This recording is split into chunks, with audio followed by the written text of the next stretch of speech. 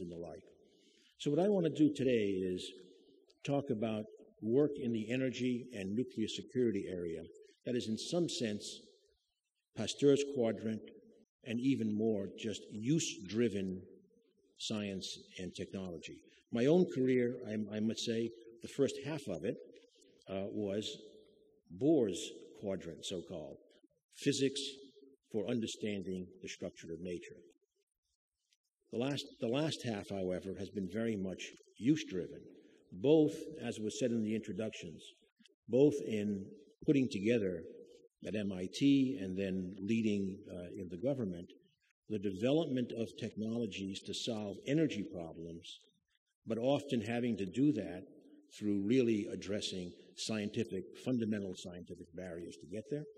And then sometimes in the nuclear security issue, uh, seeking an understanding uh, as opposed to any uh, fundamental uh, uh, science. So we'll, we'll, we'll cover that uh, in, going, in going forward.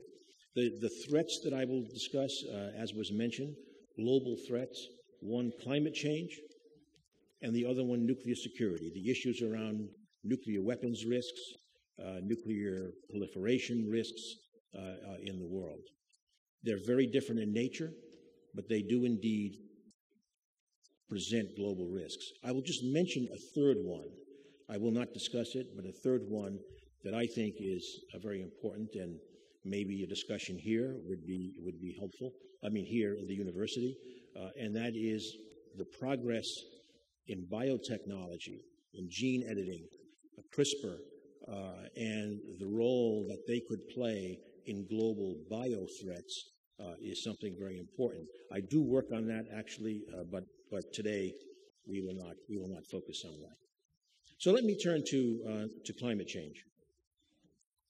The um, climate change, as you, I'm sure this audience knows, driven uh, largely by greenhouse gas emissions uh, from, uh, from human effort, largely energy use is the, as the majority, pr- providing the majority of the CO2 emissions from, from fossil fuels.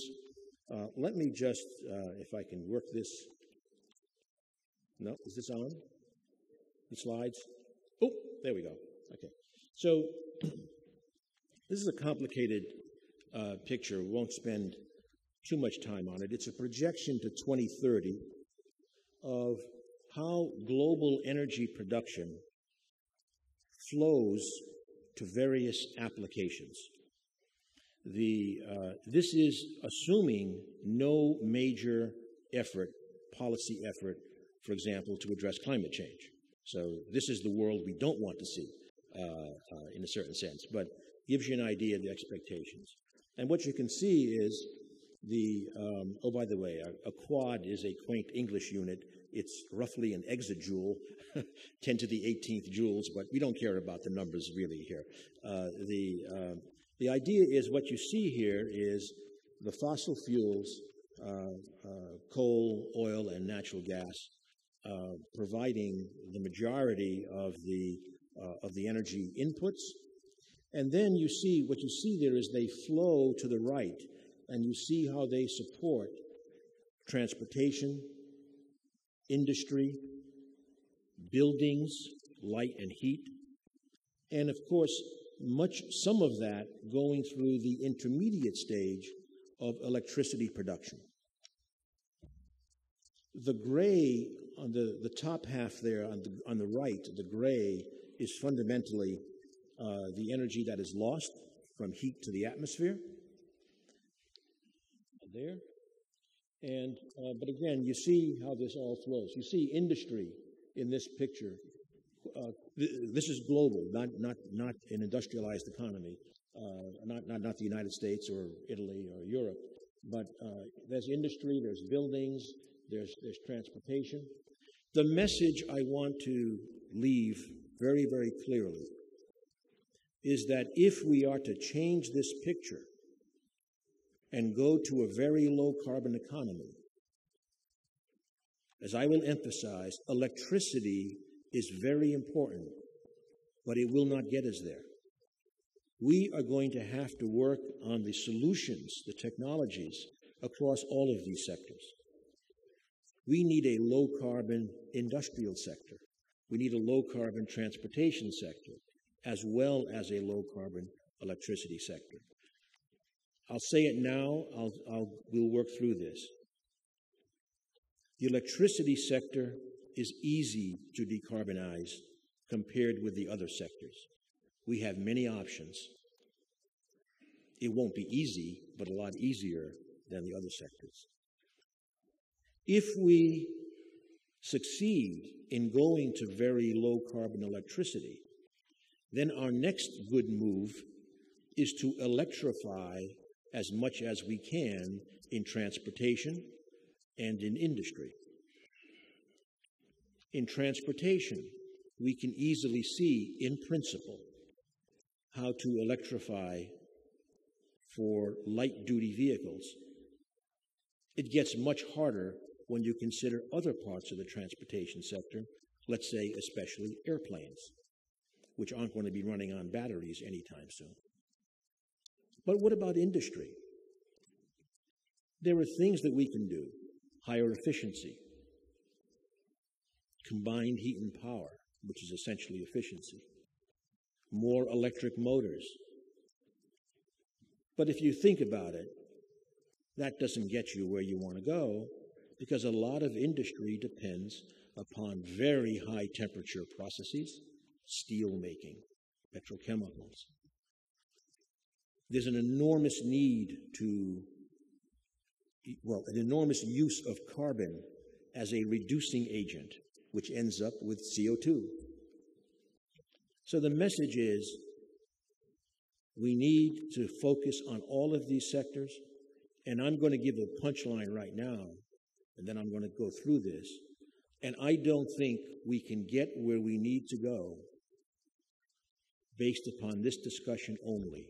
We're going to have to add to it various approaches to large scale carbon management. So I'll go through this, but I want to leave that's, that's the thread of the, of the argument that, that, we will, that we will see. So clearly, the, the challenges here, as we've just addressing climate change, we do have a concern about we will need to adapt as well because we're not going to eliminate all the effects of global warming. We have to remember that we have to do this in the context of 9 to 10 billion people in this century on the planet. And they will be very heavily urbanized. Roughly speaking, we will add another two and a half billion people to the planet, and they will all be, I don't mean they individually, but that two and a half billion will all turn up in big cities. We've got to think about that as we address the solutions. And finally, I do want to add that in addition to uh, addressing climate change, addressing energy security internationally remains a big issue. I'm not going to focus on that. I will just say that the extent to which we can solve the low carbon problem we will also solve energy security problems. The sun and the wind are pretty much everywhere, as opposed to oil, for, exa- for example. This is a uh, projection only of sea level rise with a four degree centigrade warming. This is a picture of Shanghai with four, with, with four degrees. It's still not as beautiful as Venice but um, but it's beginning to go in this direction. Uh, uh, now, you first thing you've said is, well, four degrees. What are you talking about? The world agreed to two degrees. We're on a trajectory for four degrees if we don't work harder at it.